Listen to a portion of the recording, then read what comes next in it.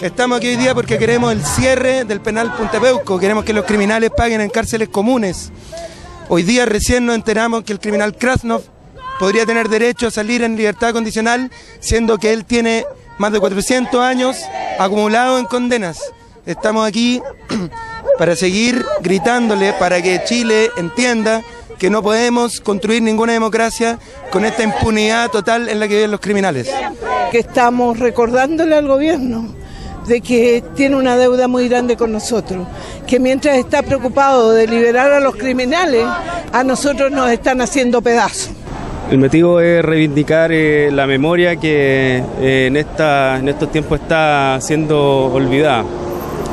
Eh, hace tiempo, hace días ya que se está pidiendo justicia y verdad y el Estado no ha dado respuesta a las peticiones que ya se han hecho desde, desde el año, desde el tiempo que ocurrieron estos asesinatos y estos crímenes.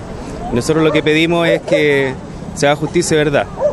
el problema de verdad y justicia no está resuelto, que los detenidos desaparecidos, su destino final no se ha dado a conocer. Solamente el 7% de los casos se han esclarecido.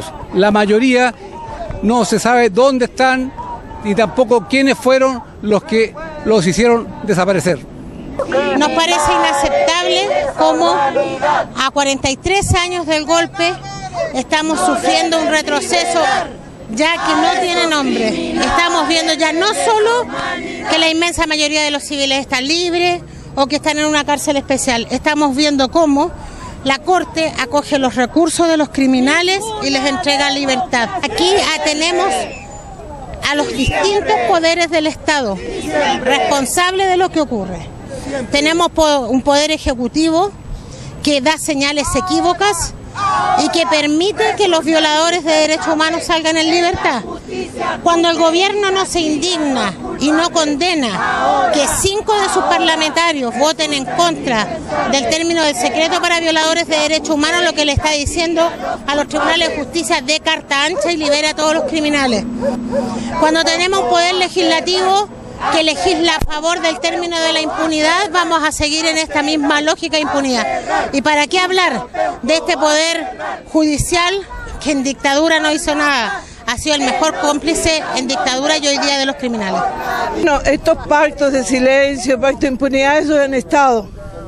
Lo que pasa es que vuelven a aparecer públicamente, pero estos siempre han estado presentes. La prueba está de que la presidenta que le prometió hace un, más de un año atrás a Carmen Gloria que iba a cerrar Punta Peuco no lo ha hecho y sabemos que no lo va a hacer. Y sabemos que todo es un cuento, es más o menos, quédense tranquilitos. No, pero ya basta, tenemos que levantarnos. Y parte del levantarnos es estar aquí denunciando y recordándole, recordándole al pueblo de Chile de que nuestro gobierno nos ha traicionado y que estamos aquí pidiéndoles que hagan, nos den la justicia que nos merecemos.